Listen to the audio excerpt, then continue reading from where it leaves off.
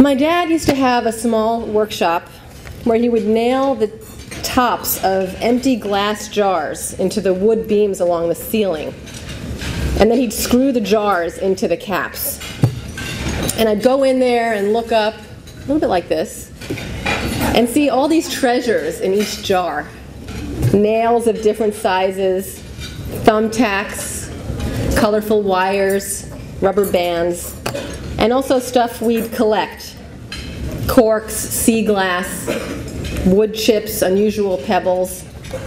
It was like an industrial nature constellation.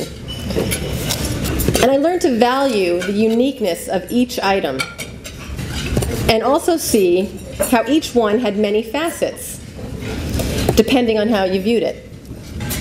And I also saw the promise in what those things could be together.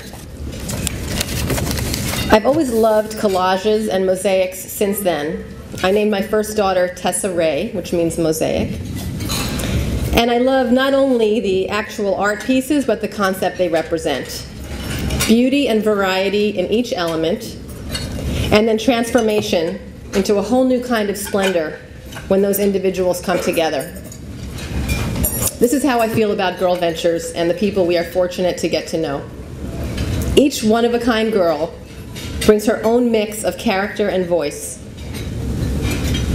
And then when they come together, they create a new shared story, personal and shared stories. A story about who they are, what they can do, and who they can be. And now is the time at the event where I'd like to ask you to make your own contribution to these stories.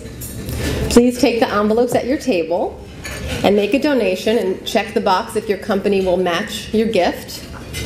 And on behalf of all of us at GirlVentures, thank you for your investments in these girls and the women they will become.